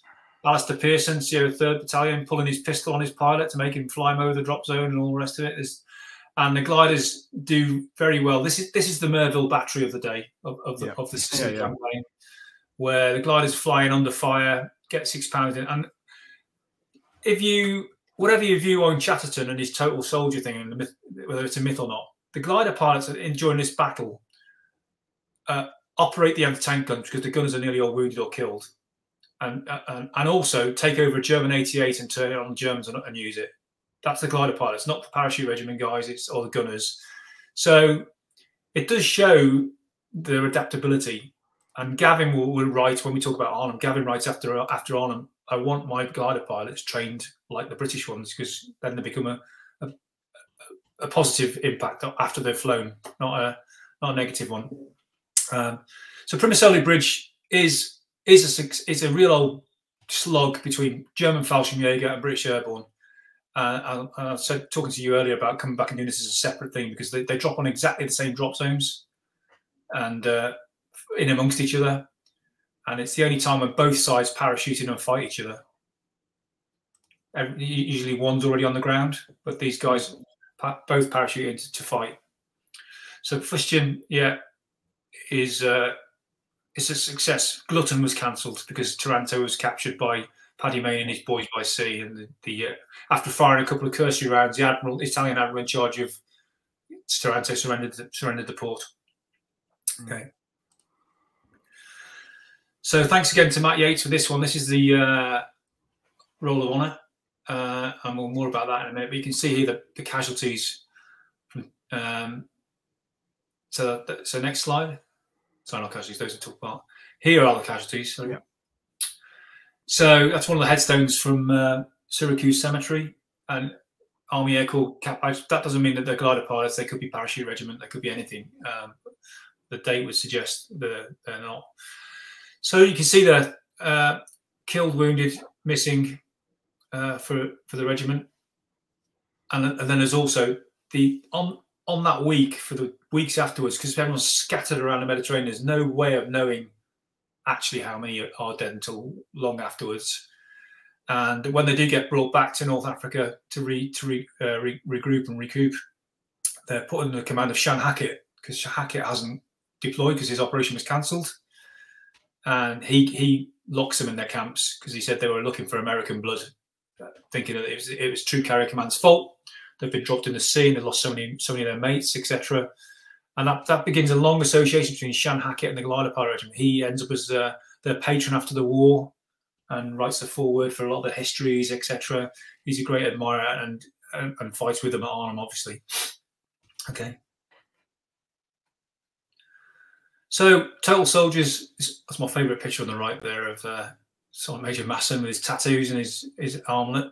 With a 38 wing pilot there, you can see when they're on ops, they're working together, which is how it used to be in the modern army. We never got together unless we were on ops, but now we're a lot more together than they were. So this is one slide. You can see Chatterton gets the DSO, but look at the there's a number of AFCs there for Beggar. Yeah. Army flying medals because obviously soldiers got medals there, not crosses. And then look, MC, DFC, DCM, DFC, DFC, DFC, and then the next next slide. Another load and um, DFMs, yeah. So what I'm going to pick out, and it's, just a random one. There's a few. I'll pick out John Ainsworth, second from the bottom, military medal. Ainsworth's glider ditches in the sea. He swims ashore without any of his equipment apart from his his airborne fighting knife. Kills an Italian sentry with a knife. Kills a second Italian with a knife. Takes the weapon and takes almost uh, yeah 30, 30 plus Italians prisoner, having stormed a bunker on his own. But starts off with a knife to do that. So that's sort of um, what you get. And, and Chatterton ends up with uh, Paddy Mayne mm. as a, a, composite company. You know, the uh, deputy commander of the brigade is in charge at um, Ponte Grande Bridge. So all these guys are involved in the battle, and that's why I always said the Arnhem book was so difficult to write because the glider pilots are in every bit of the battle. You're not just following one unit; they end up everywhere. But look at those the number of military crosses and military medals there for always a huge sacrifice. So I do think they were total soldiers when you think they could drive jeeps, use radios, all the rest of it. But I would say that I never, ever, in all the years I worked at Gliders, ever heard them use the word elite or special or say they were. Well, I've heard other people who wear that colour berry say that kind of thing. I never heard a glider pilot say that.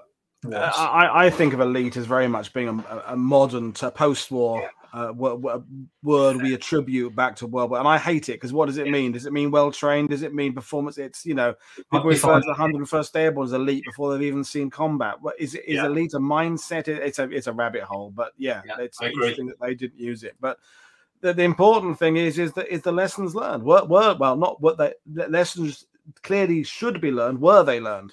The, yeah, they were um, yeah. almost. I mean, Chatterton went into the sea um, in the same glider as Pip Hicks. Pip Hicks swam, swam ashore, uh, who would be, you know, oldest man at Arnhem. So uh, one le- lesson they did did need to learn was about tactical loading because they're the squadron commander, the regimental co- brigade commander, and divisional commander all in the same glider. Um, uh, and mainly, mainly it was about the use of troop carrying aircraft.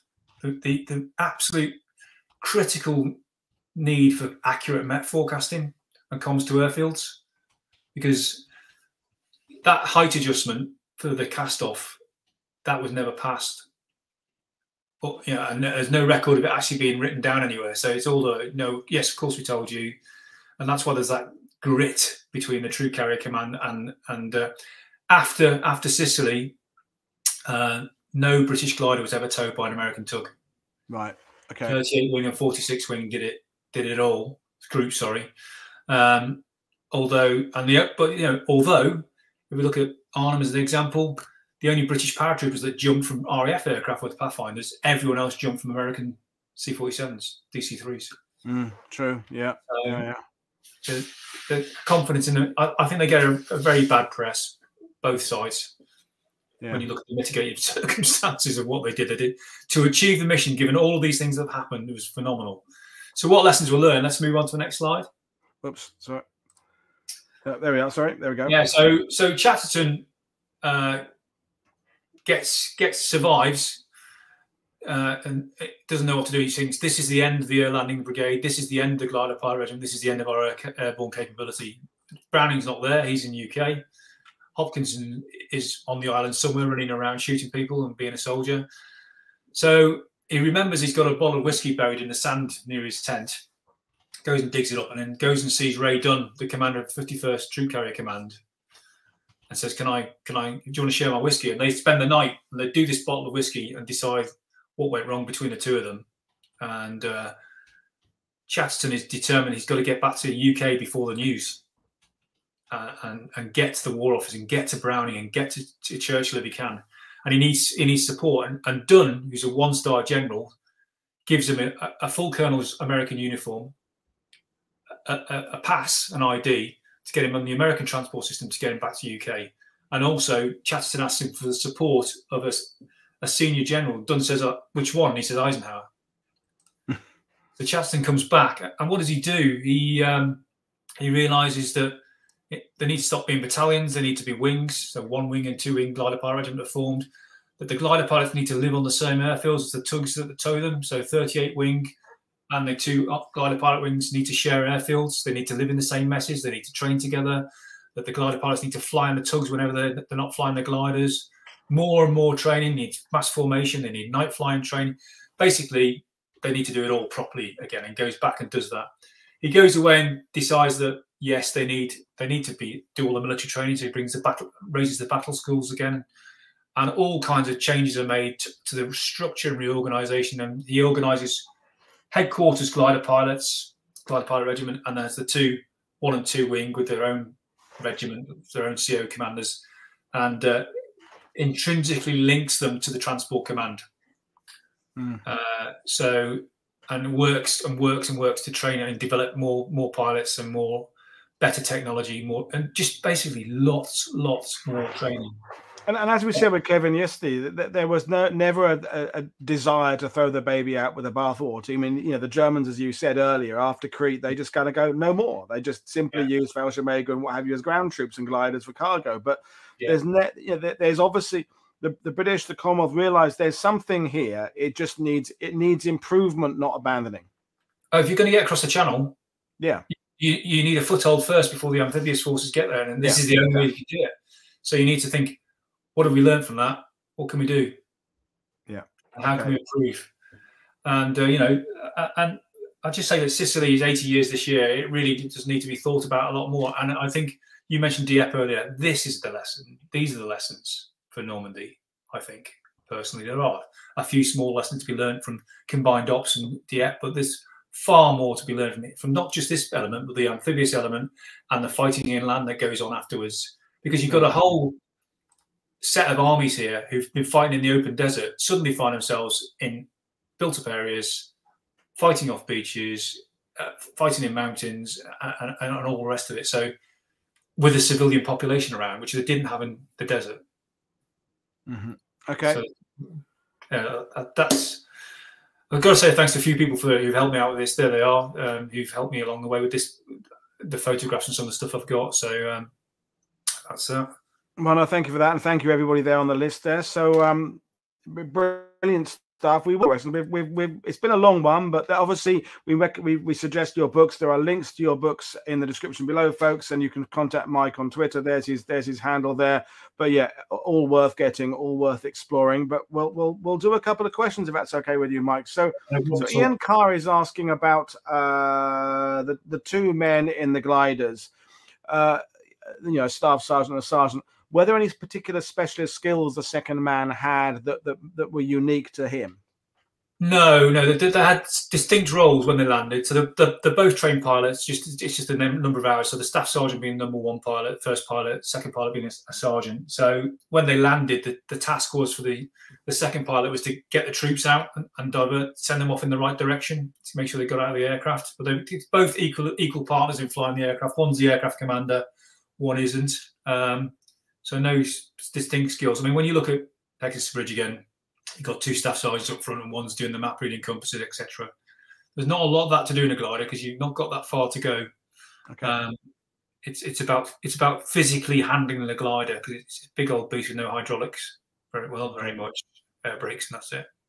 So, um, Big War Games is asking who does Mike rate as the best glider pilot regiment officer? I don't Whether he means commander or officer generally, but is there a is you know the chat not necessarily the Chatterton Rock argument, but is there some other figure that you think? Yeah, the guy. It's funny you say that. The guy, the guy in the photograph on the screen now, who's lying down in front of the mustache, that's Frank Barclay, right? Who's just a great, great bloke. And you read about some of these guys who are just phenomenal officers and that list of medals, but really the best glider pilot officer I ever met and was a great friend was Mike Dauncey, uh, who was the glider pilot regiment Victoria Cross that never was, or should have been. So when he wounded three times at Arnhem, absolute gentleman, and he was recommended for the VC. And when I did the research for the Arnhem book, I found um, uh, the citation, which VC had been crossed out, DSO written in place, initialed Bernard Law Montgomery.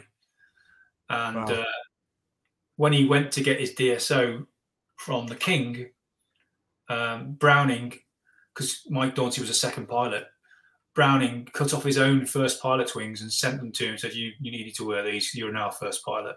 It's a little bit of humanity there from Browning, which is, challenges the Dirk Bo- Bogarde perception of him. You know, yeah, yeah, yeah.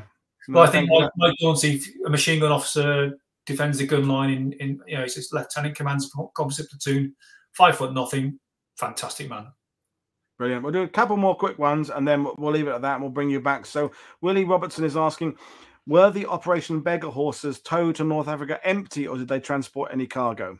Really good question. Uh, they actually carried their undercarriage inside, a spare set of undercarriage, because to make them streamlined, because the Horsa was always designed to jettison its undercarriage. I'm sure Kevin mentioned that yesterday. Uh, so they, they flew to reduce drag with no undercarriage. So in the back, they carried a spare set of undercarriage to, to, to be fitted once they'd landed in uh, North Africa. There was limited spares, but no, not not they weren't used for, for big movements of freight or anything like that. Okay, two more quick ones. One from Alex Beeman there is asking, uh, was the rear gunner, this is in the Halifax, I guess, yeah. playing telephone between the glider pilot and the tow pilot, or did it go directly to the tow pilot? Uh, it was the, it was the gunner. Right. Okay, that was a nice quick one. And then Katie Way, who I think is Greg Way, who's coming on a Friday talking about the German glider. What was the background of initial glider trainers? Did they have sport gliding background in the 1930s? Another really good question. Yeah, it is a good question. Uh, nowhere near as much as the German in Germany. Right. Uh, okay. there are a few who'd flown before, but most were soldiers who just decided they want to fly. Uh, I'm going to do something different. Brilliant. Well, I think we will leave things there, and I think people will just be badgering me about when I can bring you back on to go into more detail, and we can decide when that will be and what you'll be talking about. But what an amazing, amazing uh, uh, uh show! Thank you very much, Mike. I, I have learned a lot, and I thought I already knew a little bit about glider pilots, but I now know a hell of a lot more. So thank you very much. Great. Good. Brilliant. So, folks, join us again tomorrow. We're hearing about the American pilots tomorrow, which will be really fascinating with Scott McGough based on his book uh, about the flying coffin. So, that'd be fantastic. So, thank you, everybody, for your questions.